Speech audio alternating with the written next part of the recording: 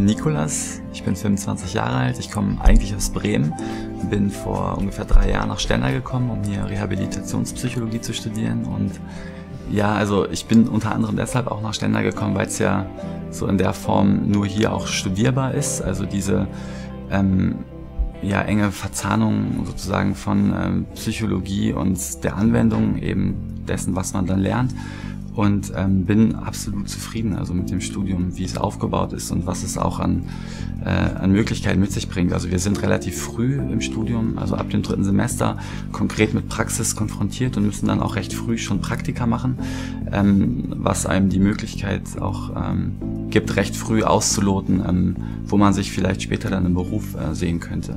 Ja, ich glaube, der Unterschied ist vor allem auch der, dass die Studenten hier stärker als wahrscheinlich anderswo ähm, die Initiative so ein bisschen in die eigene Hand nehmen müssen. Also so fällt auf, dass es hier halt ähm, viele Vereine gibt, die irgendwie selbst organisiert laufen, die äh, selbst verwaltet laufen und ähm, die Dinge, die dann hier stattfinden, tatsächlich auch von den Studenten selbst organisiert werden. Und ähm, ich glaube, das ist schon auch ähm, etwas, was es anderswo so in der Form nicht gibt. Ne? Also dass Studenten, gerade weil es eben nicht so ein, so ein starkes Angebot gibt, ähm, stark dazu angehalten sind, die Dinge selbst, selbst in die Hand zu nehmen. Und das ist, glaube ich, etwas, das das Studentenleben in Stendal auch sehr charakterisiert. Also Eigeninitiative und Selbstengagement.